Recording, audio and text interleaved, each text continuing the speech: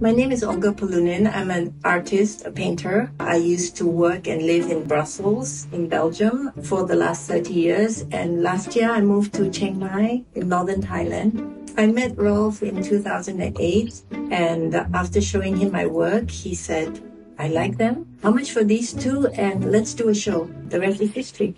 The paintings that I'm showing at this exhibition are works that I've mainly created since 2020 when I spent a lot of time in my own inner world. Um, I want to show the beauty of life. I feel that there are certain essential truths and commonalities between all human beings, and that is love, joy, happiness, searching for a higher meaning to life. Welcome to the Lotus exhibition. You will have a wonderful time. It's going to be a magical moment when we all can gather together, celebrate the senses, sight, also sound, and very important, taste.